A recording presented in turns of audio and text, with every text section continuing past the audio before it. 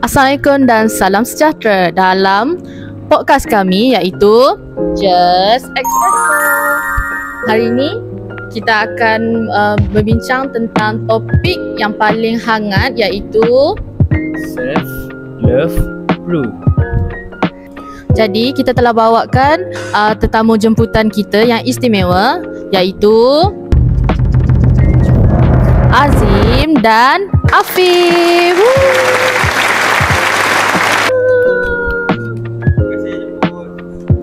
Jadi kita akan bawa tetamu istimewa kita ni untuk kenalkan diri ya. Mula dengan Azim dulu.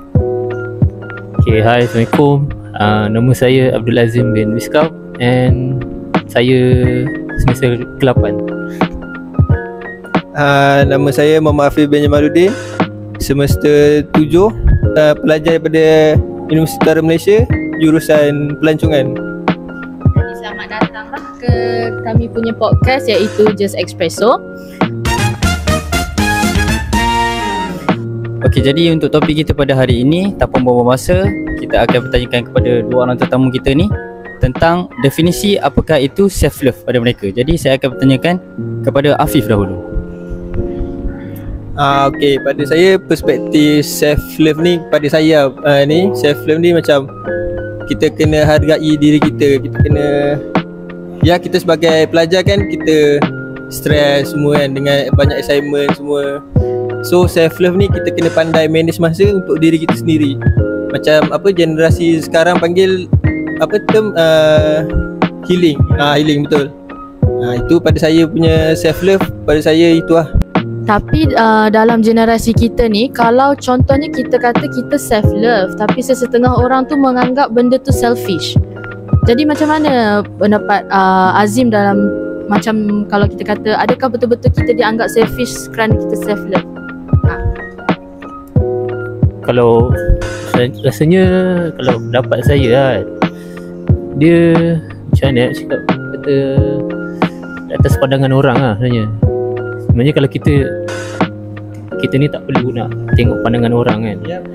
kan macam mana dia tengok kita? Salahlah kita self Ah, tak salah sebab sebenarnya self love ni kita sebenarnya memberikan kita diri kita ni ruang dan peluang untuk apa kata?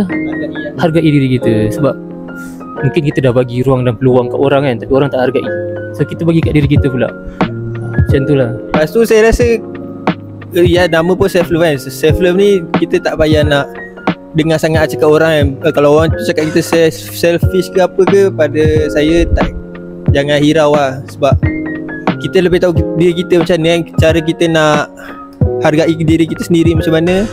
Kalau orang cakap kita selfish Ah tak apa lah. Biar dia lah macam tu lah Jadi kita dah dengarkan apa itu definisi self love daripada kedua-dua tetamu kita.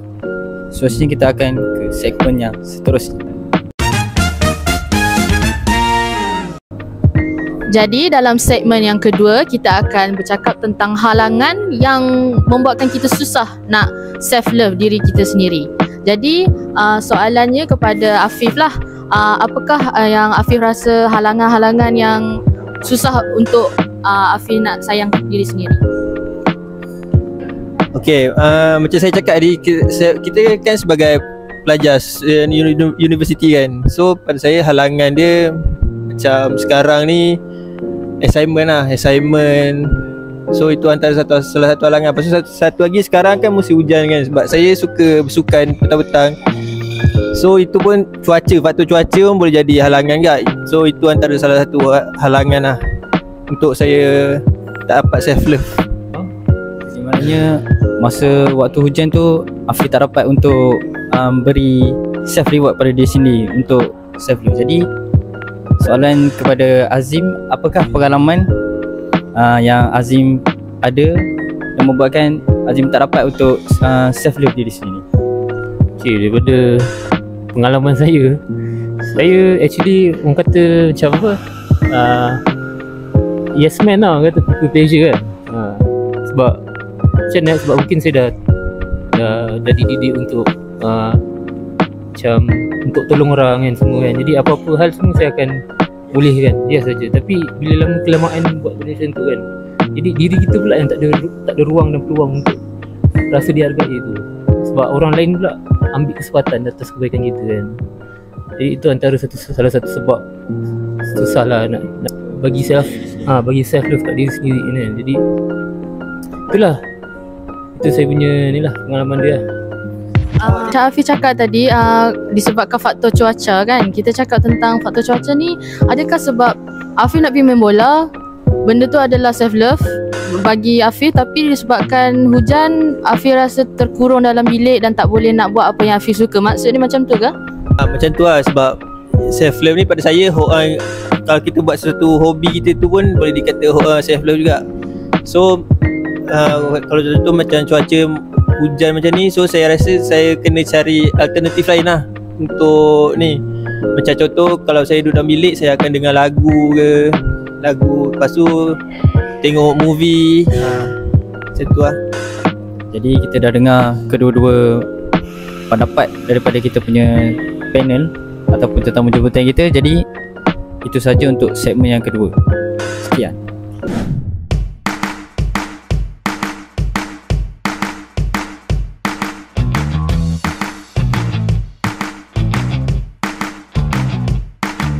Okay, uh, jadi sementara kita sebelum kita nak masuk segmen yang ketiga ni uh, Kita nak terima kasih lah, nak ucap terima kasih kepada Campus Bro Universiti Utara Malaysia ni Untuk berikan kami peluang untuk uh, nak record kat sini. Dan hari ni kita akan tanya kita punya kawan-kawan kita kat sini Apakah menu kopi yang dia orang order dekat Campus Bro ni? Okay, Azim, uh, ayah apa tu? Saya ni air basic je orang kata. Air apa? Americano. Ha, Kopi kosong lah kan. Oh saya air apa salted caramel. Salted eh bukan bukan salted egg. Salted caramel. Uh, ada lagi nama at, at belakang ni tak ingat ah. Uh, tapi nampak air saya paling sikit kan so maknanya air saya lagi sedap lah daripada orang lain Satu caramel biasa orang jiwa muda yang minum. Macam saya, saya pilih air cafe latte lah. Jadi kenapa saya minum air cafe latte ni sebab dia rasa pure kopi tu. Jadi kita akan rasa refresh balik kalau kita dah latih. Jadi kita tanya host kita lah. Menu air apa yang dia pilih? Sebabkan saya tak boleh nak minum kopi Jadi saya order je lah ais lemon tea Ais lemon tea dia pun sedap juga Cause if you like the way you look that much, oh baby, you should go and love yourself. Okay jadi sekarang kita berada dalam segmen yang terakhir iaitu macam mana kita nak memupuk self love dalam diri kita. Jadi saya nak bertanyakan kepada Afif lah apa cara yang dia lakukan? Ah Azim minta maaf. Macam mana Azim lakukan untuk pupuk uh, self love dalam diri sendiri? Bagi saya Saya rasa Cara untuk nak pupuk ni Macam saya cakap sebelum ni Saya Saya kekurangan ruang. So yang saya buat Saya berikan ruang lagi kepada saya Untuk Buat apa yang saya minat Apa yang saya suka kan. Contohnya macam Kalau main game ke apa Saya akan bermain game dengan uh, Kawan-kawan Dekat PC? Lepas tu Ataupun aktiviti di luar Macam kadang Kalau petang-petang tu Pergi Mana uh, Jalan-jalan Naik motor ke apa kan. Lepas tu Berhenti kat satu tempat.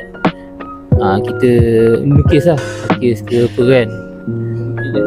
Ah landscape. Untuk kata apa untuk refresh minda balik. Kan, untuk bagi kita, bagi diri kita ruang lah macam cerita kan. Ah cara dia memang bagi lebihkan ruang pada diri kita dan kalau nak buat apa-apa pun tak boleh tunggu orang. Just boleh pergi yang kita minat ah buat apa kita nak terus je. Ah, kalau nak pergi camping okey pergi tak payah pergi tunggu orang. Nak pergi makan pergi terus je. Ah, tu satu cara lah. So kalau macam Hafiz macam mana Hafiz? uh, saya setuju juga dengan awak punya ni cara-cara tu sebab yelah betul lah sebab kalau nak tunggu orang ni takut dan dia nanti banyak pula halangan kan. Ada nak tunggu ni lepas tu dia cancel lah dia tak jadi semua. Ha, so itulah. Pada saya memang saya setuju lah. Saya setuju dengan cadangan awak uh, cara-cara awak tu. Pergi, pergi kalau nak pergi mana-mana pergi je. Untuk ni kalau nak tunggu orang takut nanti kita lagi stres ke apa kan. Ha, Ah, cancel last minute lagi lah. Tak safe lah yang tu ha. ha lagi sabut lah. Ha, tu lah. Saya punya cara memang saya setuju dengan Azim uh, Macam kalau contoh lah orang cakap self love ni perlukan duit contohlah nak pergi mana-mana kena guna duit minyak lagi dengan nak beli apa-apa lagi jadi macam mana kita kata benda tu nak tanggani benda tu Dia dia sim, sebenarnya benda ni simple simple as simple lah buat kata bidin kan. so orang kata macam uh, kalau nak ambil masa masa apa sendiri masa sendiri kan. Dia simple as pergi beli sport pun dah boleh kira uh, ni pun sebab benda tu tak payah keluarkan duit pun. Contoh macam kita beli sport kat kawasan kampus UUM ni kan. Banyak je tempat-tempat yang kata boleh sport-sport healing lah. Situ kan. Jadi uh, tak perlu nak keluarkan duit pun sangat kalau ada duit tu tak apa kita keluarkan kalau tak ada duit tak apa kita jangan ikut ha, di jalan lain kan ha, ikut ikut kemampuan dan bajet kita tak perlu kita tengok orang macam ni pun sama ha. dia salah satu keyword dia sebenarnya untuk self love ni adalah bersyukur lah kita kena bersyukur dengan apa yang kita ada itulah Okey, jadi untuk segmen ni kita boleh dapatlah saya harap semua penonton uh, boleh memahami cara nak cintai diri sendiri tu. Jadi apa pun macam mana pun sekalipun susahnya hidup kita kita kena bersyukur. Syukur kan? Saya rasa kena apa? Ya sekarang kan zaman internet kan. So jangan kita jangan terlalu apa tengok phone selalu sebab zaman internet ni kan banyak netizen-netizen cakap tu semua. So nanti secara tak langsung dia akan efek kesan ah bagi, bagi kesan dekat kita punya kesihatan mental semua. So benda tu tak elok ah untuk kita punya self love. Saya rasa pada saya self love tu kena jangan tengok phone lah kot. Jangan terpengaruh sangat dengan Ah betul jangan ber, jangan berkiblatkan media sosial jangan berpaksikan media sosial sangat. Ha so macam tu lah. Uh, kalau macam tu saya pun setuju lah kalau dengan apa yang Afiq cakap sebab apa tau? Kalau kita ni tengok orang beli itu ini dalam TikTok ke Instagram ke kita rasa macam eh nak juga nak juga. Tapi kita ni duit tak nak ada. Jadi macam nak self love apanya kan kalau kita duit tak ada tapi nak paksa diri lah. Sekali kita terjebak dengan hutang lah. Ha. Ha. ha. macam tu dah. Jadi self hate dah. Okay lepas tu ha, macam tu lah. Jadi apa yang penting kita bersyukur dan love yourself You should go and love yourself. Jadi kita dah berada di penghujung podcast kita ha, Jadi kami nak ucapkan terima kasih lah kepada dua tetamu istimewa kita kerana sudi berkongsi pengalaman dan pendapat dia orang. Jadi kita akan bertemu lagi dalam uh, rancangan episod seterusnya dalam Just Espresso. Sekian, terima kasih. Thank you for watching Just Espresso. Jangan lupa subscribe. tekan loceng Like, share, share dekat kawan-kawan Support. Tap screen. Betul bagi makan ini sikit. De- dekat sikit dengan Azim dekat sikit dengan Azim selesa tak selesa tak dekat sikit dengan Azim